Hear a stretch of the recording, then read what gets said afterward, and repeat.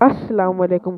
آج میں آپ کو کوٹا نسل کے بکروں کے بارے میں بتانے والا ہوں، لیکن اس سے پہلے آپ میرے چینل کو سبسکرائب کر دیجیے اور اس ویڈیو کو لائک کر دیجیے۔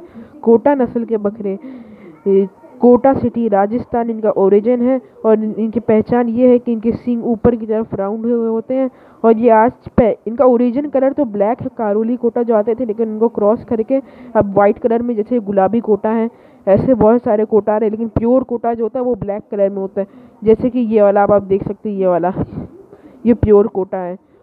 اور یہ سب کوٹا کی کراس بریڈس ہے جو ہنسا سے اور الگ الگ بریڈ سے کراس ہو کے آیا ہے۔